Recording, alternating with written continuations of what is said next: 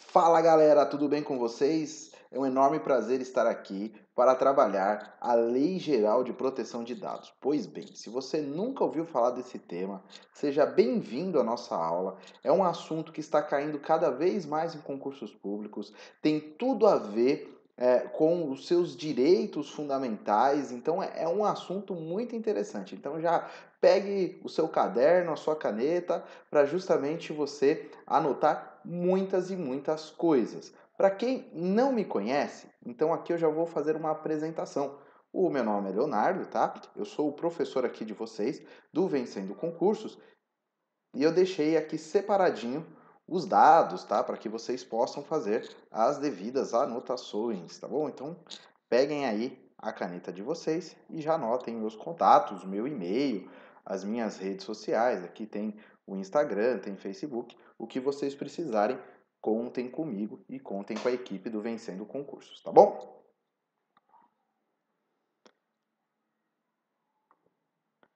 Aqui eu vou deixar para vocês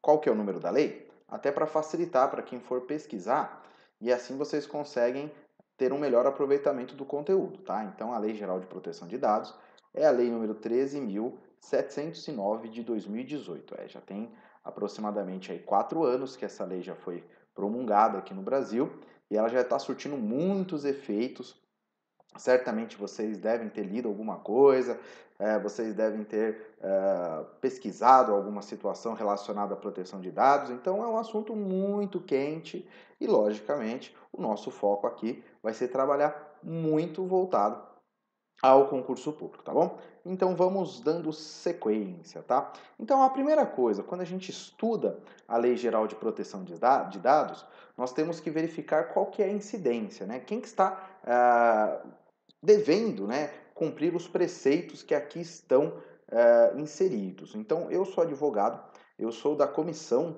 uh, de Direito Digital da Ordem dos Advogados do Brasil, atuo bastante na área do direito digital com relação à adequação da Lei Geral de Proteção de Dados e muitas vezes os meus clientes perguntam, né? É, eu estou sujeito à Lei Geral de Proteção de Dados, eu, eu, tenho um pequeno comércio, eu tenho um supermercado, eu tenho uma farmácia pequenininha aqui no bairro, eu, eu vendo alguns produtos só pela internet, eu, eu vendo algumas trufas, eu faço bolo, é, eu tenho uma pequena confecção. Então, às vezes, as pessoas me perguntam né, se elas estão é, restritas aí a observarem a Lei Geral de Proteção de Dados. Então, vamos verificar quem é que deve uh, cumprir os preceitos da lei que nós iremos estudar. Então, essa lei dispõe a respeito dos dados pessoais, tá? Então, isso é importante. O que é protegido é dado pessoal. Então, quando a gente fala de dado pessoal, nós estamos referindo às pessoas físicas. Né? Então, não há uma proteção por conta dessa lei de dados de pessoas jurídicas. Né? Então, são dados pessoais das pessoas físicas. Né? Então, vamos lá inclusive nos meios digitais. Então percebam o seguinte: essa proteção ela, ela é feita seja o meio é, que produziu esse dado, um meio físico, né? Então pode ser ah, de repente uma ficha, né? Que você fez uma anotação é, de uma relação de clientes, um, uma, uma empresa, né? Uma portaria de um condomínio que tem um controle de entrada e saída de pessoas e ali anota, né? Qual, qual o seu nome? Leonardo Gutierrez. Qual o seu RG? Ah, tal. Ah, qual o seu CPF? Eu fiz esses dias num condomínio tudo bem que o acesso era por meio de, eh, de carro, né?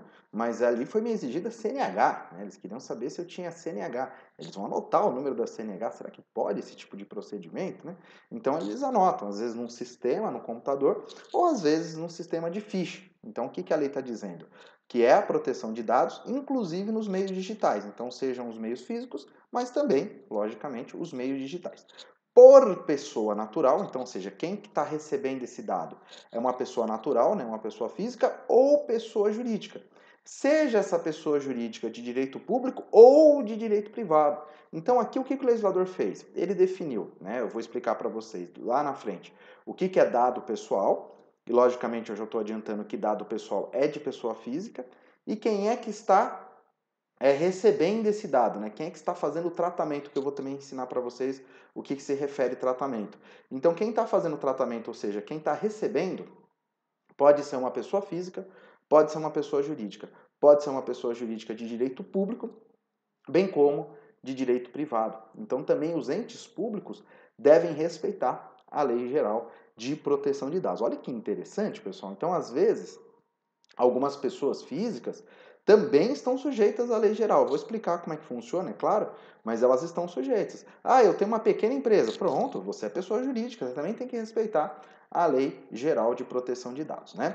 Aí vamos verificar qual que é o, objetivo dessa lei. Né? Com o objetivo de proteger os direitos fundamentais de liberdade e de privacidade e o livre desenvolvimento da personalidade da pessoa natural. Né? Então verifiquem que o foco dessa lei é a proteção de dados, sim, mas da pessoa natural, ou seja, a pessoa física, tá bom? Então, o que, que eu tenho que ter anotado, professor? A primeira coisa, é, algum, alguns pontos importantes, né? Então, é, de, quem a, de quem tem a proteção? Qual que é o dado que goza de proteção?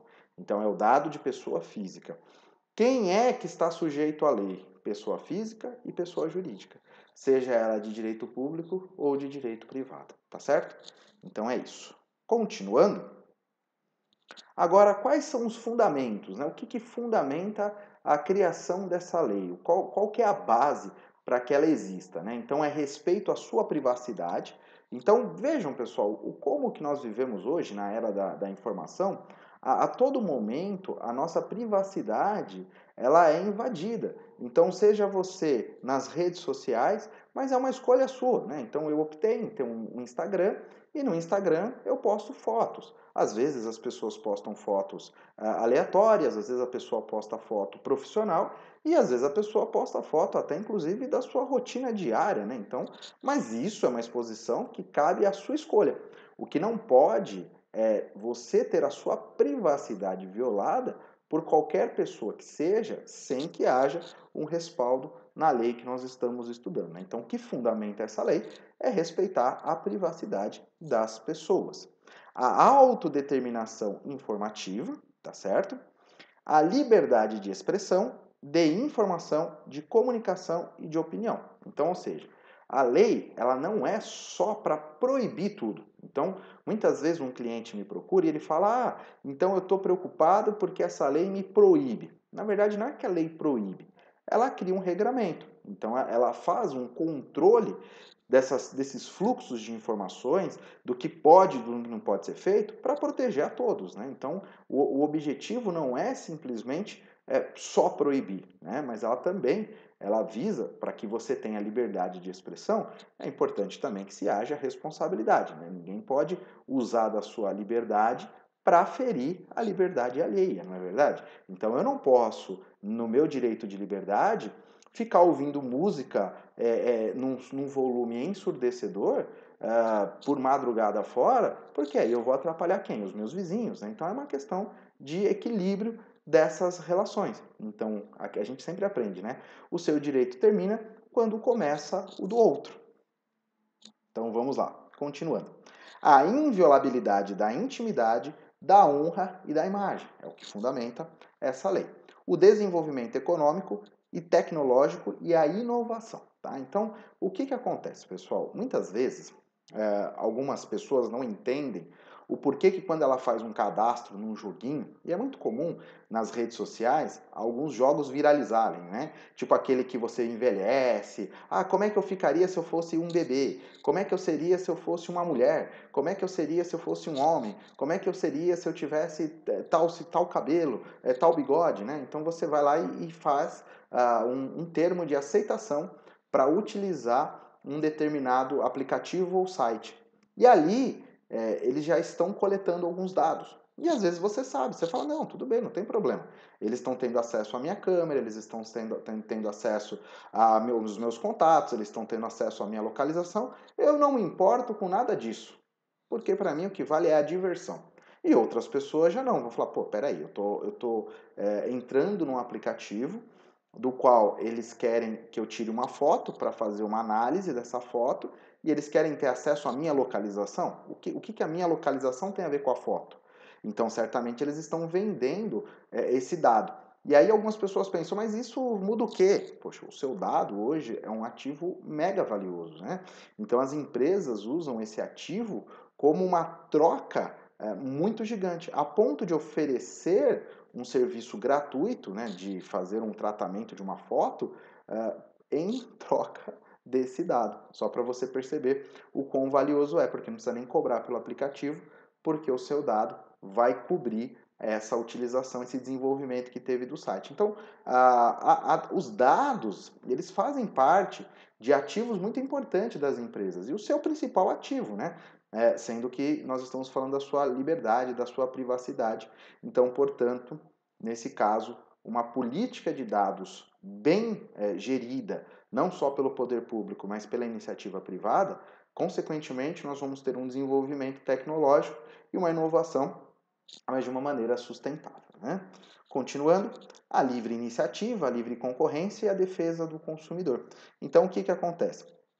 Esses aspectos aqui, certamente, se vocês já estudaram o direito constitucional no aspecto econômico, lá nós temos esses princípios, né? Da livre iniciativa. Então, é claro que o Estado ele tem uma ideia de intervir menos na iniciativa privada, ou seja, você tem a liberdade, se você quiser desenvolver uma atividade é, econômica, o Estado é, ele regra essas atividades, mas ele não pode proibir, ele não pode falar, você não pode é, ter aí um comércio de é, varejista, um comércio atacadista. Ele não pode proibir. O que ele faz, ele cria uma série de regras que às vezes dificultam, mas você tem a livre iniciativa.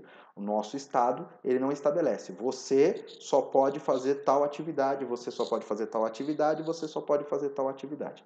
Isso não é ah, uma, uma característica né, de um Estado que busca ah, o que nós chamamos aí de capitalismo. Né? A livre concorrência, né? então, ou seja, nós temos aí como um princípio a não monopolização das atividades, né? então que haja uma abertura. É claro que isso, né, pessoal, eu estou falando no, no aspecto teórico, né? A prática, certamente vocês já estão pensando em um monte de objeções àquilo que eu estou apresentando, mas nós estamos trabalhando no campo hipotético, né? E a defesa do consumidor. Então, muitas vezes me perguntam: essa lei vai pegar? Quando na verdade a resposta é ela já pegou, né? porque a proteção dos dados ela tem a ver com uma série de outros fatores. Então, assim como nós temos a proteção do direito do consumidor, o direito à sua privacidade é inerente e os dados estão relacionados. Então, é algo que caminha junto. Então, não, não há o porquê essa lei é, ser apenas um ponto aí na nossa história que vai se apagar. Muito pelo contrário, ela agora passa a ter aí a classificação constitucional de direito fundamental e vai ser inserida aí no campo das cláusulas pétreas, né, daquelas que não podem ser alteradas, haja vista aí que tratam de direitos fundamentais, tá?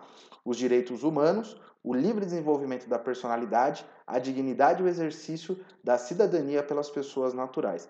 Lembrando, pessoal, que os direitos dessa personalidade, a intimidade, a privacidade, elas estão inseridas inclusive na agenda é, 2030 da ONU, então, ou seja, é um conjunto global que visa é, dar esse tipo de proteção às pessoas. Então, quando a gente pensa é, nos, nos países altamente conectados e esses países seguindo diretrizes internacionais e um fluxo de relações entre as empresas, entre os países, não dá para um país hoje ficar totalmente fora dessa, dessa linha. E o Brasil logicamente, deve estar e se comprometeu a estar ah, alinhado a essas políticas, por isso que nós temos hoje a Lei Geral de Proteção de Dados. Tá? Então, só para vocês entenderem que isso não é apenas um movimento nosso, mas é um movimento muito maior, tá certo?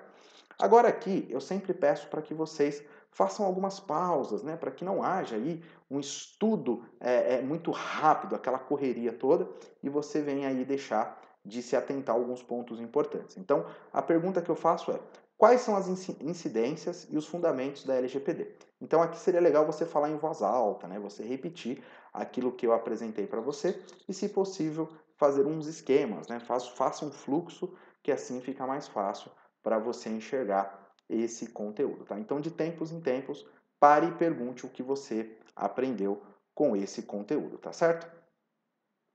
Então vamos dando sequência ao nosso conteúdo. Deixa eu abrir aqui para vocês. Vamos para o próximo item. Então, a aplicação da Lei Geral de Proteção de Dados. Vamos verificar? A LGPD, a Lei Geral de Proteção de Dados, aplica-se a qualquer operação de tratamento, que eu vou ensinar para vocês o que é tratamento de dados. Seja essa operação realizada por pessoa natural, que é pessoa física, ou pessoa jurídica. Então, eu já afirmei para vocês e agora eu trago novamente. Então, quem está sujeito à Lei Geral de Proteção de Dados? As pessoas físicas e as pessoas jurídicas, sejam elas de direito público ou de direito privado, independentemente do meio. Eu já expliquei para vocês que pode ser meio digital, pode ser meio físico também. Então, quando você, por exemplo, trabalha numa empresa e você de repente trabalha naquele setor dos recursos humanos, né? E ali alguém passou e perguntou: Ah, eu posso deixar um currículo aqui? Aí vocês falaram: Pode, pode, deixa aqui nessa, nessa caixinha, né? Então ali vocês recebem currículos. Então é muito comum que algumas empresas recebam currículos físicos, né? Então é claro que a, a boa parte delas usam sistemas ou recebem por e-mail, mas existem empresas que continuam recebendo currículos físicos. Eu mesmo fui a uma loja de roupas e principalmente na época do Natal, uh, eu, eu, me lembro que algumas pessoas estavam com envelopes nas, nas, mãos e perguntando, né, posso deixar um currículo aqui? Aí já tinha até um local específico, né, pode, né, geralmente é uma caixinha ali, pode ir deixando aqui que depois a gerente vai analisar, até porque eles colocaram uma placa, né, estamos contratando. Então é muito comum, tá, pessoal, não é algo que ah, é, é isolado, né, a gente não pode pensar que todas as empresas valem-se somente da, da tecnologia. Então a lei ela caminha de acordo com a sociedade e aí ela tem o documento que vai fazer ali a guarda da informação. Ele pode ser físico, ele pode ser digital ou qualquer outra, outro formato, né? Que exista. Então não, não tem uh, diferença, né? E também olha que legal, pessoal. Também não importa o país, né? Do país de sua sede ou do país onde estejam localizados os dados, né? Então isso também não é, é relevante. Eu vou explicar para vocês uh, que, logicamente, tem alguns, alguns regramentos com relação a esse tema, mas mesmo que o, o, essa situação se dê fora do Brasil, pode ser que a lei tenha incidência. Eu vou explicar para vocês como é que funciona, tá? Então, essa é a aplicação da lei de proteção de dados. Percebam que é uma aplicação bem ampla. Né?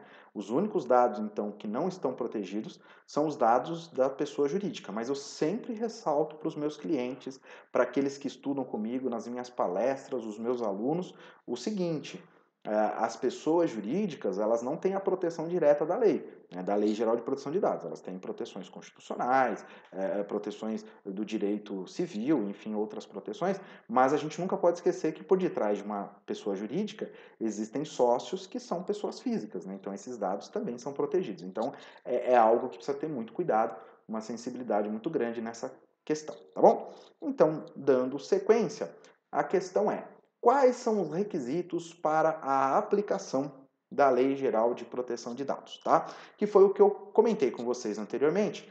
Se o dado é, no âmbito do estrangeiro, como é que fica essa relação? Então, vou mostrar agora para vocês. O que, que faz com que essa lei tenha incidência? A operação de tratamento seja realizada no território nacional. Essa é a análise mais básica que a gente pode fazer. Então, eu estou no Brasil, fui a uma empresa, essa empresa pediu os meus dados, então ali há uma relação de proteção, como é que funciona? Então é a relação mais básica que eu tenho. Eu entrei num site para fazer um cadastro, para obter um desconto, para fazer um pedido, para fazer uma compra, ali também há uma questão de proteção de dados. Ok? Então fica muito mais fácil visualizar esse primeiro item. Vamos ver o segundo? A atividade de tratamento tenha por objetivo a oferta ou fornecimento de bens ou serviços ou o tratamento de dados indivíduos localizados no território nacional. Ok, básico também. Agora aqui, ó, olha que interessante. Os dados pessoais objeto do tratamento tenham sido coletados no território nacional. Então, eu às vezes coletei o dado aqui no território nacional e muitas vezes eu posso abrigar também esse, esse servidor fora. Então, seria até uma, uma situação de tentar burlar, né? Então, é muito comum vocês verificarem que existem na internet é, sites que são estrangeiros. E, e, muitas pessoas se valem desses sites que possuem servidores fora do Brasil para ter práticas ilícitas. Né? Então, eu, eu, faço uma captura de dados é, guardo num servidor estrangeiro e penso que eu estou fora da obrigação de cumprir a Lei Geral de Proteção de Dados. Não. Na verdade, se o dado foi coletado aqui no território nacional, ainda que ele esteja no estrangeiro, ele está incidente à Lei Geral de Proteção de Dados. É claro que também quem tem essa prática, né, é, nesse, é, nessa atitude criminosa, certamente não está se preocupando em cumprir a lei, mas aqui eu tenho que explicar para vocês a incidência, tá certo? Continuando, agora aqui eu vou explicar para vocês quando não há a aplicação da Lei Geral de Proteção de Dados, tá? Então, essa lei não se aplica, tá? Então, isso aqui também é muito importante para a prova, haja vista que muitas pessoas também imaginam que ela tem uma aplicação é, 100%, quando na verdade existem situações em que não há a aplicação da lei. Quando for realizada por pessoa natural, então você, pessoa física, para fins exclusivamente particulares e não econômicos. Como assim, professor? O óbvio, né? Então você tem um celular, naturalmente você tem o um telefone de algumas pessoas, né? Você tem dados de algumas pessoas, mas você usa esses dados porque você se conecta com essas pessoas, porque são seus amigos, são seus colegas.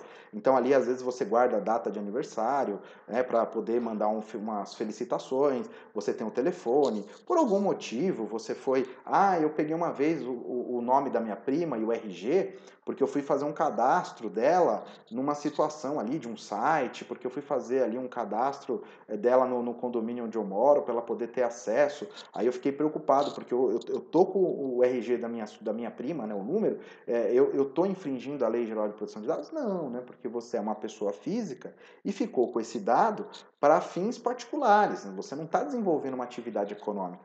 Você não guarda esse dado para fazer uma, uma, uma, publicidade, uma oferta de marketing, para ter todo um, um, uma, um benefício com relação a essa situação. Então, nesse caso, você não está sujeito à lei de proteção de dados. E dando sequência, vamos para o próximo item.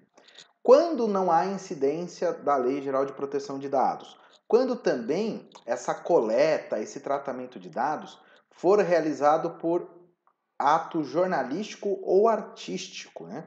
Então, por exemplo, imaginem só que um determinado jornal esteja fazendo uma cobertura de um evento ou de alguma situação e, logicamente, o jornalista tirou alguma foto, o, o, jornalista às vezes acabou entrevistando uma pessoa, então teve acesso à imagem dessa pessoa, teve acesso a algumas informações. É claro que os, os, os jornais eles pedem né, autorização para veicular a, a, aquela imagem, né? isso daí é uma praxe, mas poderia ser questionado se ali um jornal poderia ter dados de pessoas, né? fotos ou algumas situações que possam chegar aí à, à individualização ou alguma característica, que também eu vou explicar para vocês que isso é um dado, e nesse sentido o legislador teve o cuidado de proteger a imprensa, né? que é muito importante né, num Estado democrático que haja uma liberdade de imprensa. Se houvesse uma limitação, poderíamos aí ter um problema, por isso que o Estado optou em tirar a, a atividade jornalística do devido é, preceito que nós estamos estudando na Lei Geral de Proteção de Dados. Claro que os jornais, logicamente, não podem fazer o que bem entendem, né? Tem todo um, re, um regramento até constitucional, a questão da imagem, a honra, né? Mas é só uma questão de não incidência para fins jornalísticos ou artísticos da proteção de dados. Também para fins acadêmicos, né? Então, às vezes, os estudantes, aqueles que estão fazendo mestrado, doutorado, pós-graduação, graduação, muitas vezes eles fazem coleta de dados para poder fazer pesquisas, estudos. Portanto, o legislador é, retirou essas atividades da incidência da lei de proteção de dados. Né? Naturalmente, vocês já deveriam ter pensado, né? Ah, e, e, a segurança pública, né? As polícias, será que elas podem ter dados, né? Claro que sim, até porque para fazer essas políticas de segurança, eles possuem uh, um banco de dados é, altíssimo, né? Naturalmente, você deve ter é, recordado, né? Ah, uma vez eu fui tirar o RG, né? Tive que deixar a minha digital, então o sistema de segurança pública ele mantém esse grande banco de dados com a finalidade de promover a segurança pública. Então, portanto, não há incidência da Lei Geral de Proteção de Dados. Né? Para a defesa nacional, que também entra nesse conceito, para a segurança do Estado ou atividades de investigação e repressão de infrações penais. Né? Então, isso aqui é, é, uma segurança que o Estado tem, né? já que ele, ele precisa ter o controle das pessoas, é, de dados, de, de, de informações, então, nesse sentido, ele não poderia uh, colocar uma proteção, né, uma, uma, um, o sigilo existe, é claro, né? a gente não pode confundir as coisas, né? então o Estado ele mantém o sigilo dessas informações, mas ele pode manter a guarda, né? porque é disso que nós estamos falando. Será que a pessoa pode ter a guarda dessas informações? Então aqui nós estamos verificando que sim, porque a lei está dizendo que ela não se aplica para essas atividades. Não, não quer dizer que o Estado possa divulgar como bem entende, é justamente para que ele possa manter as suas políticas conforme aqui estão estabelecidas. Né? Então, política de segurança pública, de defesa nacional, de segurança do Estado, ou atividades de investigação ou de repreensão de infrações penais, tá certo? Então, aqui, esse primeiro bloco que nós estamos trabalhando, ele trouxe para vocês uh, pontos importantes, né, para que você pudesse entender a definição dessa lei, aonde há incidência dessa lei, a quem se destina, né, quem está sujeito a essa lei, e assim nós vamos verificar no, no próximo bloco quais são as outras definições. Então eu vou definir para vocês o que, que, é um dado pessoal, o que, que é um dado sensível, uh, o que, que é um operador, o que, que é um controlador, quais são os agentes de tratamento, uh, o que, que é a INPD, enfim, eu vou fazer as definições justamente para que vocês possam entender melhor uh, os pontos importantes dessa lei. Espero que vocês estejam gostando desse assunto, porque é um assunto, além de importante para a prova, é importante para a sua prática, né, o seu exercício de cidadania e conte conosco. Logo, logo a gente já volta. Um grande abraço, espero vocês na próxima aula.